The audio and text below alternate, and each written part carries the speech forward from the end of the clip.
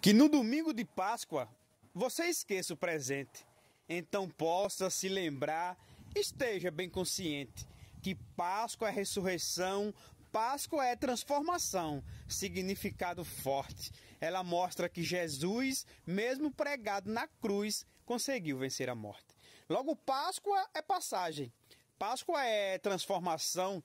Chocolates e presentes não passam de invenção. Mais vale você orar, mais vale tu ajudar um irmão necessitado, pois você agindo assim terás entendido, enfim, todo o significado. Que nesta Páscoa, então, Jesus possa ser lembrado e os seus ensinamentos que por ele foi pregado se espalhem no mundão e toquem no coração de quem está me escutando. E quando a Páscoa passar, o amor possa reinar, pois estamos precisando.